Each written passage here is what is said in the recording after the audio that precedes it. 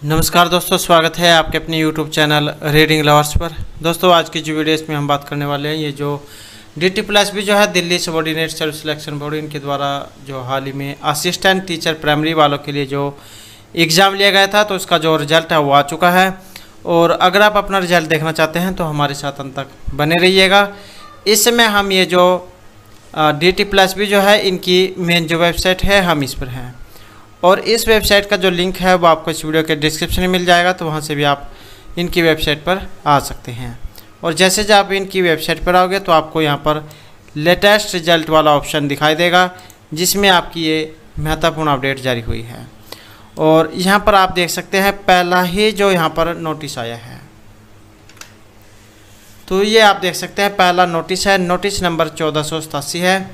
Assistant teacher primary under post code है बयालीस slash इक्कीस। तो ये जो है यहाँ पर रिज़ल्ट नोटिस है। और जैसे जब हम इस लिंक के ऊपर क्लिक करेंगे तो आपका रिज़ल्ट ये आ जाएगा। और ये आप यहाँ पर देख सकते हैं, ये जो हाल ही में जारी हुआ है और ये डेट है। डेट आप देख सकते हैं, यहाँ पर तीस तारीख है, क्योंकि कुछ समय पहले जारी हुआ है। तीस नौ दो हज़ार बाईस, नोटिस नंबर चौदह सौ सतासी है। असिस्टेंट टीचर प्राइमरी वालों के लिए पोस्ट कोड जो यहाँ पर बयालीस लैस इक्कीस है। और ये बयालीस लैस इक्कीस ये पोस्ट है और कितनी वैकेंसी थी? तो वो आप यहाँ पर देख सकते हैं। उसके बाद जो यहाँ पर अलग अलग जो कैटेगरी है, उसके अनुसार यहाँ पर वैकेंसी दिखाई गई है। ई डब्ल्यू एस की अड़तीस थी यू आर की तीन सौ तेरह ओ बी सी की छः एस सी की चौवालीस एस टी की तैंतीस, जिसमें जो है पी डब्ल्यू डी एच की चार पी डब्ल्यू एच की पाँच पी डब्ल्यू एच एच की चार पी डब्ल्यू एम डी की पाँच पोस्ट थी। और यहाँ पर जो है उसके बाद जो है ये एग्ज़ाम दिखाया गया है। तो यहाँ पर देख सकते हैं एग्ज़ाम जो हुआ था। The online exam was connected on date सात से लेकर तीस तीन दो हज़ार बाईस तक आपका एग्ज़ाम हुआ था। और टोटल जो कैंडिडेट थे, साठ हज़ार चार सौ नवासी कैंडिडेट थे जो, जिनके द्वारा एग्ज़ाम दिया गया था। और ये अगर आप अपने मार्क्स देखना चाहते हैं तो ये जो ओएआरएस जो है, इस पर जाकर आप देख सकते हैं। ये लिंक है।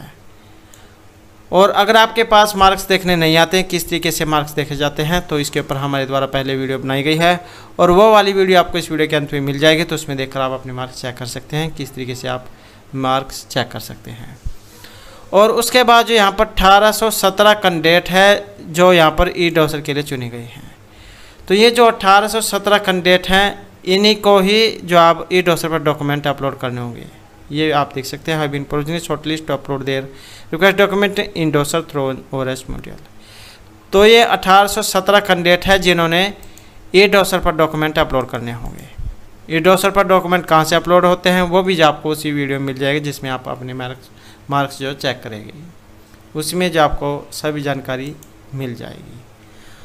और ये जो ये डोसर का जो लिंक है, ये सिर्फ़ उन्हीं कैंडिडेट के लिए ही खुलता है, जो इसमें सिलेक्ट होते हैं और दूसरे जा उसमें डॉक्यूमेंट अपलोड नहीं कर सकते हैं। तो सिर्फ़ उन्हीं उन्हीं कैंडिडेट के लिए यहाँ पर खुलेगा, जो अठारह सत्रह कैंडिडेट हैं। और इनके कितने कट ऑफ़ मार्क्स वगैरह हैं, वो भी यहाँ पर दिखाए गए हैं। तो ये कट ऑफ़ मार्क्स आप यहाँ पर देख सकते हैं कैटेगरी ये आपके 200 में से है ई डब्ल्यू एस के एक सौ सैंतालीस पॉइंट वन सिक्स है यू आर के एक सौ चौपन एक सौ चौवन point three one O B C के है एक सौ तिरपन point double three S C के एक सौ चौवालीस point five one S T के एक सौ तेईस पॉइंट फाइव सिक्स और पी डब्ल्यू डी के तिरासी पॉइंट वन थ्री। तो इतने यहाँ पर कट ऑफ़ ये गई है। और उसके बाद कुछ कैंडिडेट के मन में ये भी सवाल रहता है कि कितने मार्क्स यहाँ पर लेने ज़रूर होते हैं। तो यहाँ पर जो ये E W S U R E W S category वाले जो कैंडिडेट हैं, उनके लिए 40 प्रतिशत ओ बी सी कैंडिडेट के लिए 35 प्रतिशत, और जो ये S C S T P W D category वाले जो होते हैं, इनके लिए 30 प्रतिशत अंक लेना इसमें ज़रूरी होता है। और ई डोसर का जो लिंक है, ये इनके लिए एक्टिव रहेगा एक तारीख से लेकर पंद्रह दस दो हज़ार बाईस तक।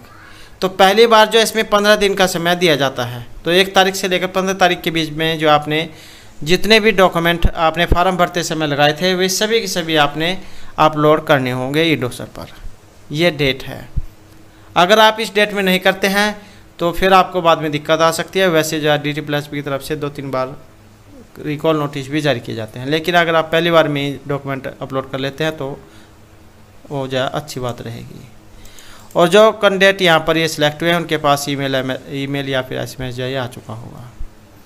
तो यही जो हाल ही में एक महत्वपूर्ण अपडेट डी टी प्लस की तरफ़ से जारी की गई है। और दोस्तों, अगर आपने अभी तक हमारे चैनल को सब्सक्राइब नहीं किया तो सब्सक्राइब कर ले इस प्रकार की महत्वपूर्ण अपडेट को सबसे पहले पाने के लिए। और दोस्तों, वीडियो को लाइक कमेंट और शेयर ज़रूर कीजिएगा। और हमारे साथ अंत बनने के लिए धन्यवाद।